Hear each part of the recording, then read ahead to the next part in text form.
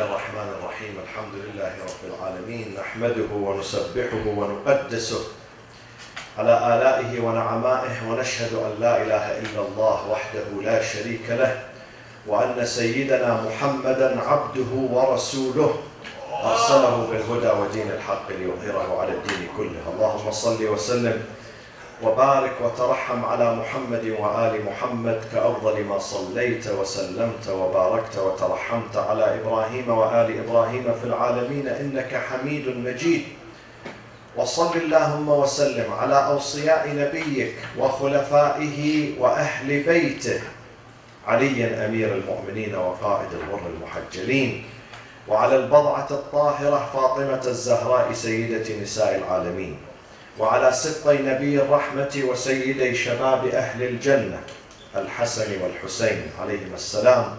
وعلى علي بن الحسين ومحمد بن علي وجعفر بن محمد وموسى بن جعفر وعلي بن موسى ومحمد بن علي وعلي بن محمد والحسن بن علي والخلف الهادي المهدي. عجل الله تعالى فرجه وسهل مخرجه. وجعلنا من انصاره واعوانه عباد الله اوصيكم واوصي نفسي بتقوى الله ولزوم امره. On the 11th of this month, the month of Dhul Qa'dah, we witness the birthday, the anniversary of the birthday of one of the great personalities of the history of mankind and one of the successors and descendants of the Prophet and the Imam of Ahlul Bayt and that is the eighth Imam, Al-Imam Abu al-Hasan Ali ibn Musa Rida alayhi salatu wassalam.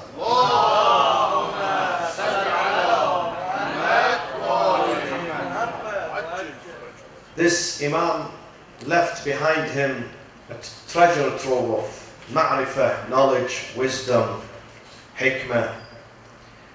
And of course, a very short life, only 55 years, but full of achievements and givings and contributions and sacrifice. He has a hadith I selected, he has numerous hadith, but one of them that applies to us and our daily life here. Those who subscribe to this tradition, to this school. I always say the followers of Ahlul Bayt have to be different from others. I don't say that arrogantly. No, not because of arrogance, but because I believe when you follow someone great, you have to learn that greatness from him. Otherwise, why, why should we follow? Why wasting time? Ahlul Bayt are different. Imam al-Sadiq is different from other Imams. Imam al-Baqir is different. Imam al-Rida is different. They are human beings, but divinely inspired. The same way that Muhammad sallallahu alayhi wa sallam, our great messenger, is inspired by Allah. The Prophet Muhammad did not bury this knowledge with him when he died. He transferred this knowledge to his family, to Ahlul Bayt, to the Imams. Knowledge is never buried. The, the body of the Prophet was buried. His knowledge, his legacy, his spirit continues through his children. Amir al-Mu'mineen, who's the gate of his knowledge, from Amir al-Mu'mineen to Fatima to Zahra to Imam Hassan, Hussein, Ali ibn Hussein, Muhammad ibn Ali, Ja'far ibn Muhammad al-Sadiq, Musa ibn Ja'far, this eighth Imam, Ali ibn Musa Rida, till the last Imam. Otherwise, Allah would not waste his, his, his time sending messengers one after the other. And when one of them dies, Allah says, okay, today I quit my work. Leave people enjoying life. No message, no guidance, no hidayah. Allah does not do this. The message of guidance, the responsibility of guidance continues. Continues. How many presidents we have in America? This is our 43rd or 42nd? Who knows? MashaAllah, you are good at American history. 44th? This is the 44th. And the president, presidency of the dunya of a country called America is going to continue. The presidency of, presidency of God does not continue. it will cease. When the Prophet dies, the presidency dies. We have to use aql here, aql. The presidency of God, the khilafah, khilafatullah, inni ja'ilun fil ardi khalifa, continues, continues. But through not someone who comes and nominates himself, he doesn't know what he's talking about, like Donald Trump, he wants to be the president of America. Allah says, no, I select.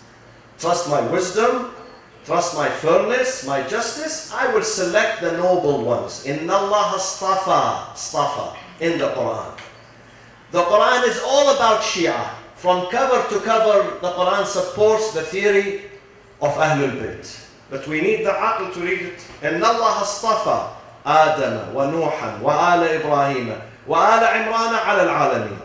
What do you want more than this? Allah says, I select, I choose noble ones, I make them leaders. You have to accept them. Don't defy them. Don't go against them. Don't go and choose someone else. You would lose. And how we lose? Look at Muslim war today. And tell me what Muslim country we have no war, we have no conflict, we have no refugees. Where?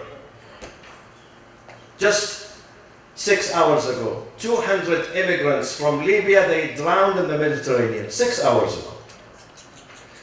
Last, yesterday, in, in, in, in Austria, Austria, 70 immigrants, they were suffocated in the truck. Did you see that? On the highway. 70 of them. 70 of them from Syria. This is misery because we lost our direction. When you follow the wrong leaders, this is the result. This is the result. Allah says, I intend happiness for you. I intend stability for you, progress, dignity, but you refuse me. You go after someone else. So then then be responsible for yourself. Imam al-Rida says, my followers, my Shia have to be different in five qualities. This is what he says, his message.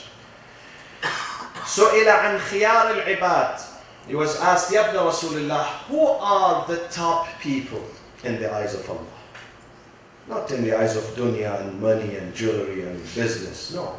In the eyes of God, who are the top? He said the top are those who have five qualities. Number one, الذين إذا أحسنوا استبشروا أحسنوا when you do something good, when you help, when you save, when you serve, when you give food, medicine, shelter, money, smile, advice to someone, you feel good inside.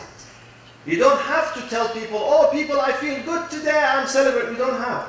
But inside you, you know that you did, you saved the dignity, the life of someone. So inside, you feel that you did something in this life.